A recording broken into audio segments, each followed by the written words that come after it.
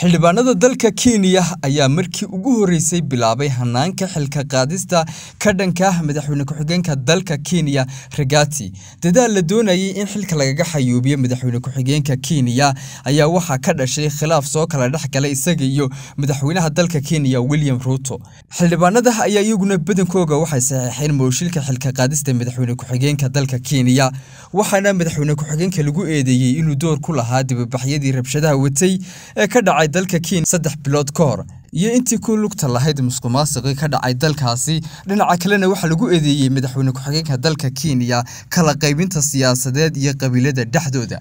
Weriye subeer galaydh c b a. Maasha allah soo dhowaada.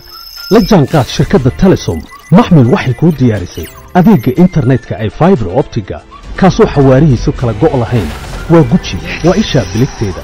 Intuu soo gudlanayo hadalba gam hagarle ii ku isticmaal sochial midiyaha kuna daawo wararka cayaaraha iyo onlaine geemiska haddaba maxmil soo gasho gurigaaga xafiiskaaga iyo goobtaada shaqo. Fadlan nagala soo xidhiidh nambarka gaaban